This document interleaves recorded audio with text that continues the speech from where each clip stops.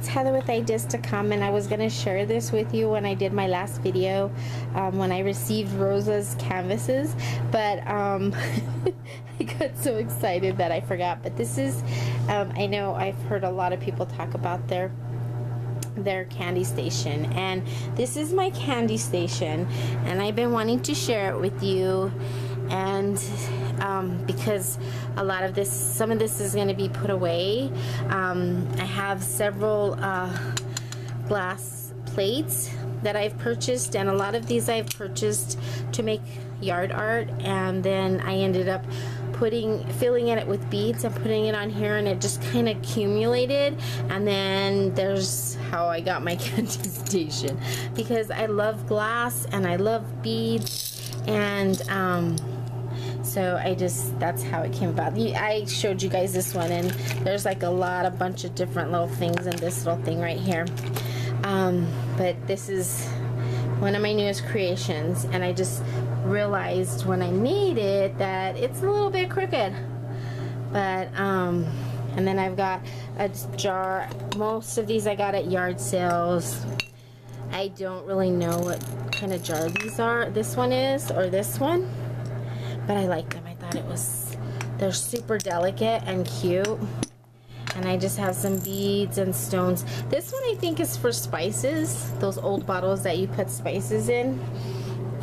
Um, but I'm not sure. But this is another creation that I made. And this top to this one was a little bit different than I of course I have the candle stick holder here and then I have several different beads on the bottom.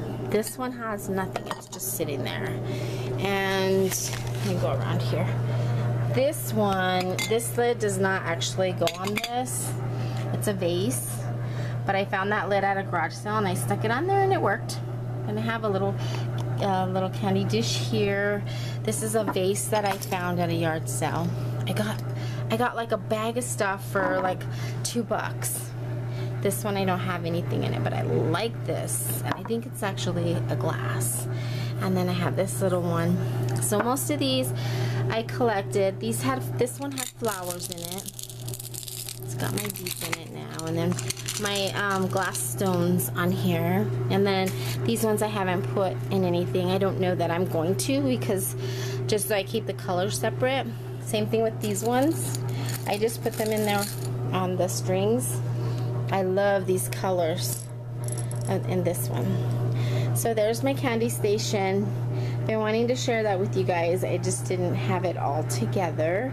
It's kind of hard to see because there's no background behind it to to really show you other than you're seeing the carpet.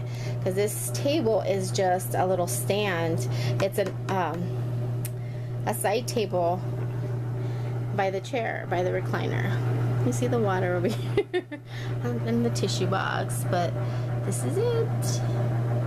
Quick tour. I hope I didn't make everybody get dizzy because I know that happens. Happens with me when I do videos. so there it is. My little candy station. Thanks for watching guys. I'll talk to you soon. Bye for now.